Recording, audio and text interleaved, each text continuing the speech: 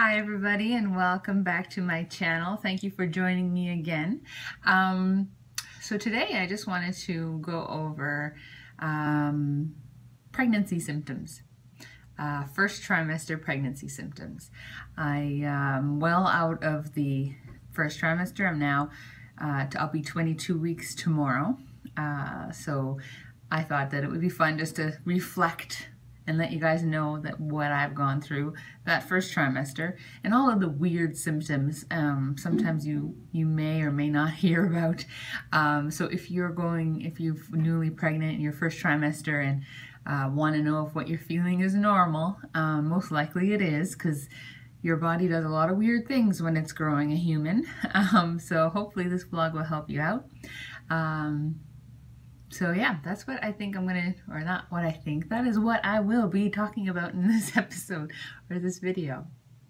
And just like the morning sickness video that I previously uh, posted, um, every pregnancy, the, the, the, symptoms that you're going to go through are different between women, but they're also different uh, with each pregnancy a woman has. Um, the common ones, the ones that I've experienced with all three of my pregnancies in that first trimester are um, morning sickness, as you know, and fatigue. Now, the fatigue, though, was different between each pregnancy. And uh, the and I think it's probably just the, the, spacing of the pregnancies, really. But with my first pregnancy, um, it hit me like a rock. Like I was extremely tired.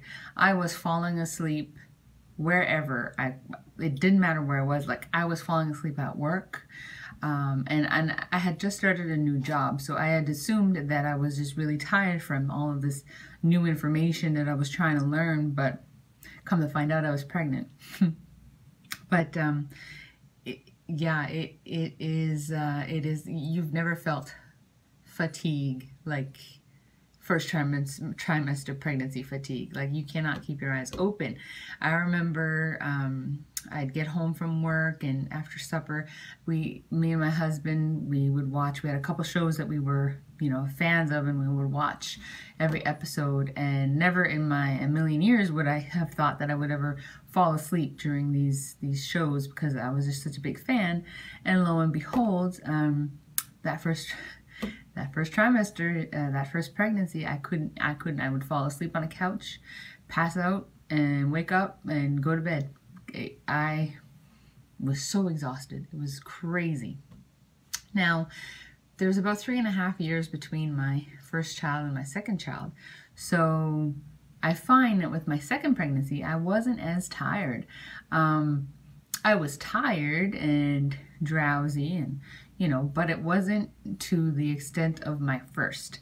And my theory is, is because I was already so exhausted even before I got pregnant with being a, a mom and, and whatnot and getting used to the mom role, that my body was just already used to being exhausted. So I didn't really feel much different. Mind you, I, I, uh, I did sleep a lot more um, than my, than my, uh, than normal, but just not to the extent of my first.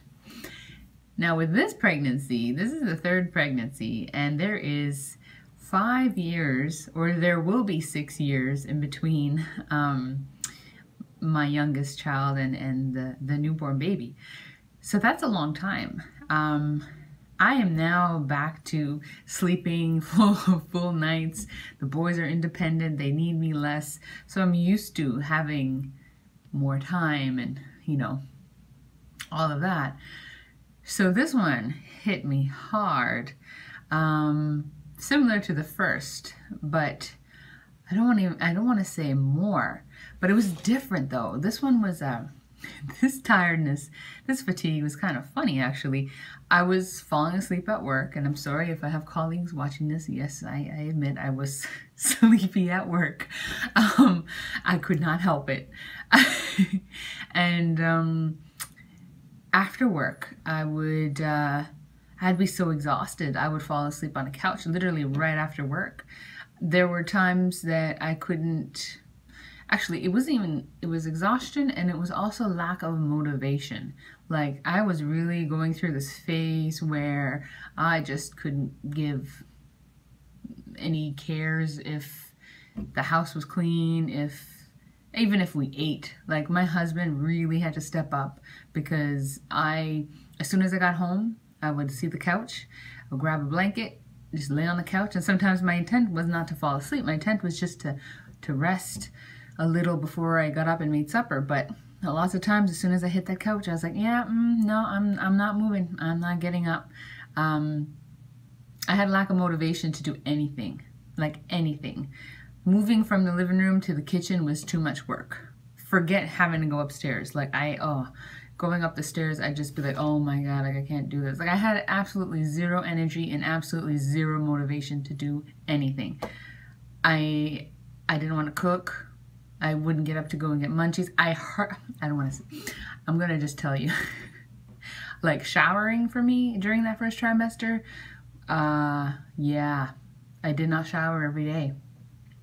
Um, uh, I just, yeah, it wasn't, it wasn't going to happen. I figured, you know what, I'll just put a bunch of deodorant and moisturizer on and tie my hair back and uh, however I look tomorrow is how however I'm to look and hopefully I don't stink. That's kind of what was going through my, my brain. I would brush my teeth, but that's pretty much the extent of it. Um, so it, it, was a funny kind of fatigue, that one, but I, am glad to say I am, I am out of that and uh, my energy and motivation is back. Um, I'm not falling asleep at work and I'm showering, so there we go. Um, so that's a little embarrassing story for uh, to tell the world. Um, and um, yeah, so that's fatigue. So sick, uh, morning sickness, I've talked about previously, so I won't go there. Um, but the fatigue was different. But other symptoms that, you know, women go through is your boobs, your boobs hurt. Oh my God. Like, they're so tender. You don't want to take your bra off. You just want them to stay up here and nothing to touch them. That's that first trimester. Um, Again, this one varies with pregnancy. I found my boobs weren't as sore the first two. This pregnancy, it was like, holy mother, they hurt like crazy. Like, they were sore. And then they, they like, not only doubled in size, I would say they friggin' quadrupled in size with this pregnancy. Um, yeah, they definitely um, they definitely grew. Um, but my first two, I don't find they they um, they grew, you know, reasonable amount, just not not like this one. So that's something, and that one uh, most women will go through. Um, the extent of your sensitivity, though, that one and your your tenderness, that will vary between your pregnancies. Uh, what else? Your hips. So your hips. I thought that after having two children, um, my hips would be nice and extended and would not need to, to stretch out anymore. Uh, but boy, was I wrong. Um, I find with this pregnancy, my hips from the first trimester till to this day have been so sore. Like they are just, they are just killing me. Like I, do I have to walk, like when I sleep, when I walk, eh, oh. So yeah, your hips, you will feel it in your hips. You will, you, you'll lay on the side and your hip starts to hurt. You got to flip over to the other side. And that starts to hurt um, you walk weird, you sit too long, whatever, you're just, your hips, yeah. So normally that symptom though, that symptom I didn't really get within my first trimester with my first two. I got those in my third trimester. But this one, this one started right in a dab in the first trimester, my hips. And it's uncomfortable and it's not fun. Um, what else did I go through? Um, extreme thirst. My first trimester, and now I, I and now too, I, I find I drink a lot of water, but my first is probably not as bad as my first trimester. I don't know what was going on. I could not get um, I could not quench my thirst in that first trimester. I was drinking gallons and gallons and liters of, of water and nonstop. I was almost getting concerned with, with how much water I was drinking because that is a sign of, of, could be a sign of diabetes as well. But, um, you know, it it has gone down a little, so I'm not concerned anymore. But uh, yeah, I was drinking like I would have to get up in the middle of the night to drink water, which normally means sleep. Nothing gets in between me and sleep. Um, so yeah, and then with all that water, and you're running to the bathroom every two seconds as well. So that is also a symptom, though, of first uh, trimester early pregnancy. Symptom is um, you constantly need to to pee, even though um, you may not be drinking a lot of water like I was. Uh, your hormones in your body are doing some funky stuff and it's making you creating some and I'm not going to go scientific here, but it's creating something, some kind of hormone in you, which is going to make you uh, need to pee more often. So that's another symptom that you could uh, go through in, your first trimester.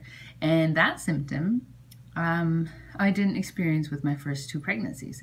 I only experienced the um, the peeing a lot, which I want to relate to the amount of water I was drinking. Um, in this in that first trimester. Uh, but it could happen, and you could be wondering why you need to pee all the time, and that's why. And then in the third trimester, that's going to come back, but it's going to be for a different reason. Um, that one will be because you have a little human pushing up and kicking your bladder. So yeah. Um, let's see. Oh, and another early symptom or early sign is spotting. Um, now, spotting is one that um, freaks out girls, freaks out women, uh, because you never, you don't ever want to see blood down there when you're pregnant. But um, if it's just a light little spotting, um, a lot of times it's what you call implantation bleeding, and that um, that's just when your um, it could either be the egg implanting into your uterine uterus wall, or it could also be, um, if it's a little later in your first trimester, it could be the placenta um, forming and, and on, onto your uterus wall, which could also cause some spotting. So um, if you are experiencing a little spot, I will I wouldn't be concerned with it. It happened with me through all three pregnancies. Um, however, I would not I would never tell you not to uh, to get checked out if you're worried because we we can never take uh, spotting or any kind of bleeding lightly. Uh, now, if you have a, a, a, whole bunch of bleeding, a really red bleeding, then yes, please um, go get checked out. But if it's just light spotting, then, you know, you can call your doctor and get reassured or however you want to go about it. So yeah, um, that was kind of what I experienced or what I can remember experiencing in that first trimester um, as the major, major symptoms. Um, I forgot to mention, you can also experience some cramping along with that spotting. Um, again, very light cramping, nothing serious, not as bad as period cramp, um, but you do feel some, some uncomfortable cramping there. Um, another, there's, there's all kinds of symptoms actually. Uh, another symptom that, um, that I experienced, again, with this pregnancy, I experienced it in my first trimester. With my other pregnancies, I've experienced it in my third trimester, and that's your ligaments pulling in your uterus. And that hurts. um, you move awkwardly and you feel this sharp pulling, and it's on this kind of like on the side, maybe like on the side of your uterus, and and I guess that's just your your um, your ligaments stretching and, and getting ready. But um, sometimes if you move quickly, it could hurt. And, uh, and, it, and it pulls a little bit and you got to wait for like a few minutes before the, the pain kind of ceases. So I, I had that a lot when in my later trimester um, with the first two, but with this one I'm experience I experienced that right from the first trimester. So yeah, good times. I find with this pregnancy, my first trimester was pretty rough on me. Um, I was experiencing every single pregnancy symptom that I think is humanly possible. And um, I'm happy to say that the second trimester is going a lot better and I am feeling a lot better. Um, but really, I just wanted to do this quick vlog and, and uh, let you ladies know so that, um, you know, if you're experiencing similar um, symptoms or, you know, the weird symptoms, uh, you know, it's all normal. Your body's going through a lot. Creating a human is not something easy to do. Um, so give yourself some rest. Uh, take care of yourself and you should be feeling fine in no time. So that's all I got for you today. Thanks for watching. I really appreciate your support. And if you have not subscribed, please do so. I really, really appreciate it. And um, like and share. all of that good stuff. You know what to do. All right, guys. Uh, that's all for today. Thanks for watching. Be blessed and love you guys. Bye-bye.